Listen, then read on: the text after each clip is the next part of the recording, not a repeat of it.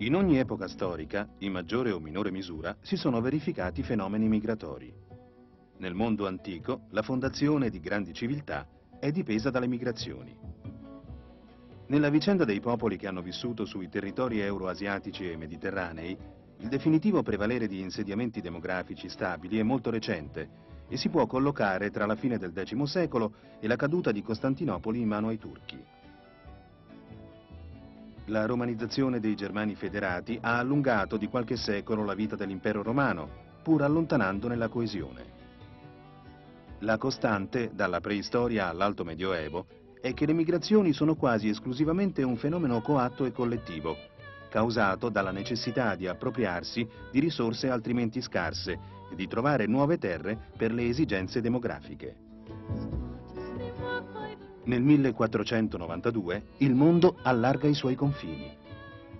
Sono le scoperte geografiche a dare l'avvio ad una secolare e feroce migrazione coatta, quella del commercio degli schiavi. Il 1800 vede in Europa un'intensa crescita demografica e la conseguente crisi agraria del 1846 ha come risultato uno dei più massicci spostamenti di popolazione dell'età moderna, la grande emigrazione dalle isole britanniche, soprattutto dall'Irlanda, verso gli Stati Uniti e il Canada.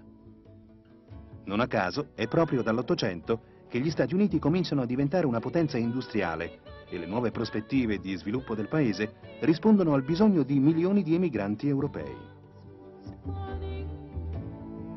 Dal secondo conflitto mondiale in poi sono cambiati i protagonisti, le condizioni economiche e demografiche dei vari paesi e di conseguenza la dislocazione dei luoghi di esodo e delle aree di destinazione.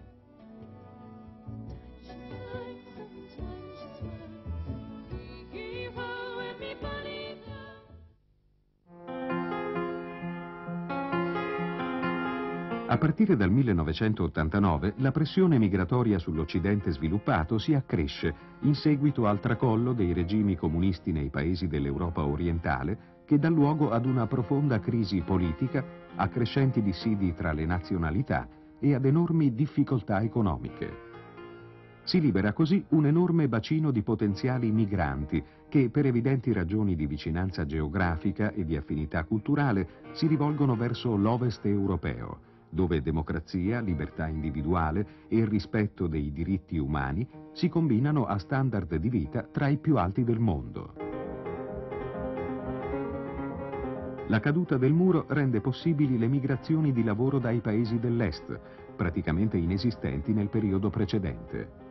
Con l'inizio degli anni 90 i flussi di questo tipo divengono consistenti. Si tratta in larga misura di cittadini delle repubbliche dell'ex Jugoslavia, e in misura ridotta di polacchi, albanesi, cecoslovacchi e ungheresi che si trasferiscono negli stati dell'Unione Europea, in particolare in Germania.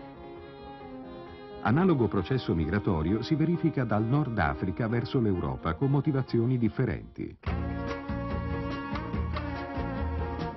Dal dopoguerra il Marocco ha conosciuto un grande movimento migratorio verso l'Europa, determinato dalla decolonizzazione.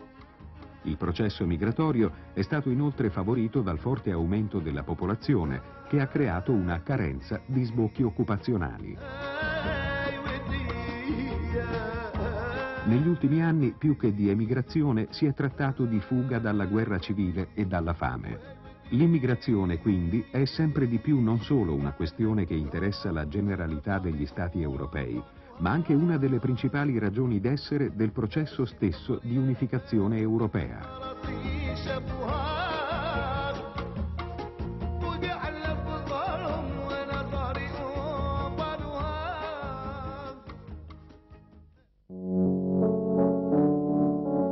Mai come nel secolo appena trascorso si è assistito al dirompente avvicinamento di popoli e culture e all'evoluzione dei rapporti socioculturali all'interno dei singoli paesi, soprattutto di quelli più industrializzati. Questo è stato il secolo del progresso tecnologico, dell'evoluzione dei mezzi di trasporto terrestre, nautico ed aereo, il secolo dell'esplosione dei mezzi di comunicazione di massa che hanno semplificato la circolazione dell'informazione. La globalizzazione sposta l'economia dei paesi più industrializzati sul terziario, ma l'incremento delle capacità di consumo non si accompagna ad una parallela crescita dell'occupazione, piuttosto ad un moltiplicarsi delle periferie più povere. La globalizzazione in economia è soprattutto un mercato planetario di beni, finanze, manodopera. Un fenomeno inarrestabile, di per sé né buono né cattivo, che può favorire lo sviluppo e il progresso anche nel terzo e nel quarto mondo, ma può esportarvi anche esclusione, emarginazione, povertà, sfruttamento dei più deboli e dei minori. In un mondo simile chi non può competere è perduto e poi esclusione o autoisolamento scelto da taluni paesi per difendere la propria economia e la propria cultura sono spesso le premesse di conflitti interni ed esterni.